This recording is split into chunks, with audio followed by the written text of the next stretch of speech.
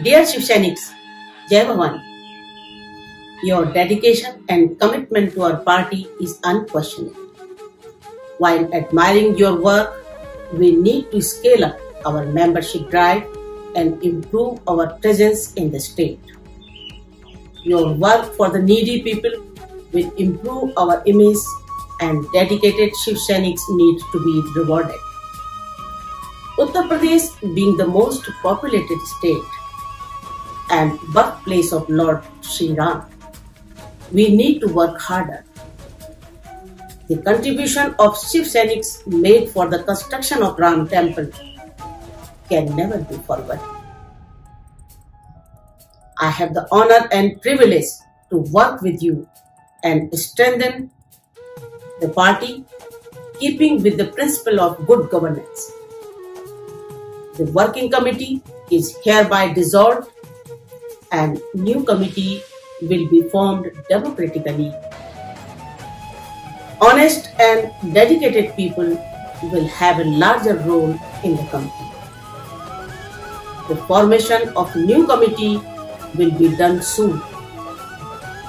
Hence, you all are advised to maintain peace and tranquility and continue to work for the betterment of people of Uttar Pradesh. We all are committed to the ideology of Balasaheb Thackeray and under the able leadership of Shri Uddhav Thackeray ji, we will not only make a better Uttar Pradesh but also a strong India.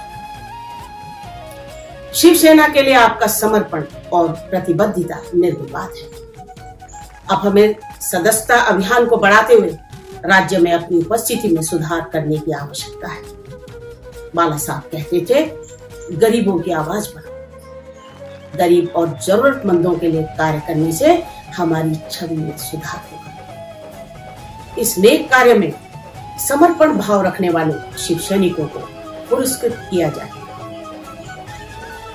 Uttar Pradesh सबसे अधिक आबादी वाला राज्य और भगवान राम की जन्मभूमि है जिसके लिए हमें अधिक मेहनत करने की आवश्यकता है। राम मंदिर के लिए शिव सैनिकों के योगदान को कभी भुलाया नहीं जा सकता। मुझे संगठन को मज़बूत करने और आप लोगों के साथ कार्य करने का सुअवसर प्राप्त हुआ है, जिसे हम सबको संगठित होकर निष्ठा और ईमानदारी से निभाना होगा। आपकी सूचना के लिए उत्तर प्रदेश की राज्य कार्यकारिणी भंग की गई है और नई कार्यकारिणी लोकतांत्रिक तरीके से गठित की जाएगी। नई कार्यकारिणी में ईमानदार और समर्पित लोगों की महत्वपूर्ण भूमिका होगी और जल्दी ही कार्यकारिणी का गठन किया जाएगा। आप सभी से अनुरोध है कि शांति और अनुशासन बनाए रखें।